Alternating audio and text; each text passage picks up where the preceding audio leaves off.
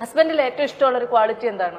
ഹസ്ബൻഡിന് ഏറ്റവും ഇഷ്ടമുള്ള ക്വാളിറ്റി എന്ന് പറഞ്ഞിട്ടുണ്ടെങ്കിൽ ഇപ്പം ഞാൻ എത്ര ദിവസം പുറത്ത് പോയിട്ട് വരുവാണെങ്കിലും വീട് ഞാൻ എങ്ങനെയാണോ പോയിട്ടുണ്ടാവുക അതിനേക്കാൾ വൃത്തിയായിട്ട് ആൾ. ആൾ ഭയങ്കര നീറ്റ് ആൻഡ് ക്ലീൻ ആണ്. ഒരു പൊടി പോലും വീട്ടിലുണ്ടാവില്ല. പിന്നെ ഞാൻ പോയി വരുന്ന സമയത്ത് ആൾ കുക്ക് ചെയ്ത് വെക്കും. അങ്ങനത്തെ കുറെ നല്ല ക്വാളിറ്റീസ് ആൾക്കുണ്ട് പറയാണ്ടിരിക്കാൻ പറ്റില്ല. പക്ഷെ അറ്റ് ദ സെയിം ടൈം ഇയാളാണ് പോയിട്ട് വരുന്നതെങ്കിൽ ചിലപ്പോ നമുക്കൊന്ന് തട്ടാനൊക്കെ മറന്നു പോകും. അപ്പൊ അവിടെ ഒരു നോക്കൂ നിത്യ പൊടി. ഇത് നോക്കൂ പൊടി. ഇത് നോക്കൂ. ആൾ പോയി തരുന്നത് എനിക്ക് ഇഷ്ടമല്ല ഞാൻ പോയി എനിക്ക് ഭയങ്കര സന്തോഷം.